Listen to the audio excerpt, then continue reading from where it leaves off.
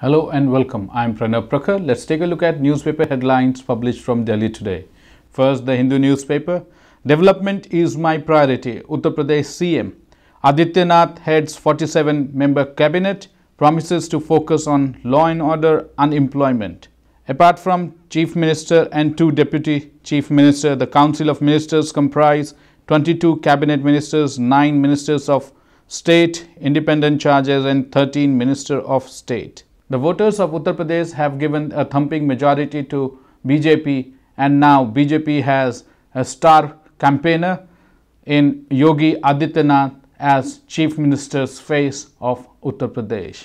Chemical used in IED at railway track identified. A forensic report on National Investigation Agency has said that arsenic sulfide was the primary material used in the improvised explosive device IED which was found by the railway track in Bihar on October 1st last year. Delhi traffic situation alarming says panel. Police have failed to implement any significant measure to improve situation. Kerala priest stabbed in Melbourne. There is a very disheartening news. A Catholic priest from Kerala was attacked by an Italian on Sunday when the former was leading the mass in the Melbourne church. Manipur blockade finally lifted. Moving ahead to the Indian Express, again the same news about Uttar Pradesh government being formed and Yogi Adityanath taking um, the mantle of chief minister. Need culture of setting dispute amicably outside court, Supreme Court judge.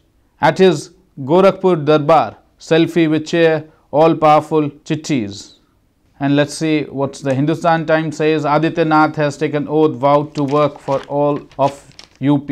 Jats call of stir, but Delhi state on alarm. Expect a hot weekend at 34 degrees Celsius in Delhi. Three stolen mobile phones belong to Dhoni recovered. 279 technical college fake. Delhi tops the list with 66 fake technical colleges. Alarming news. Amit Shah's stamp visible as Yogi 46 ministers sworn in. Again, this is the take of Times of India on UP coronation of Yogi Adityanath. Almost all papers talking about the UP uh, coronation of Yogi Adityanath. Moving ahead to the business dailies, the Mint newspaper, Indian stock in favor despite high valuation. Government lays down strict condition for capital infusion in government banks. First Solar may sell 200 megawatt of asset in India. American solar panel maker First Solar is exploring the sale of almost 190 to 200 megawatt of its solar power assets in India. Indian Airlines won't oppose Qatar Airways India airline plan. Air India chairman Ashwani Lohani has said that state-owned airline will not oppose Qatar Airways reported plan to enter Indian market, adding that it is for the government to take the call on the matter.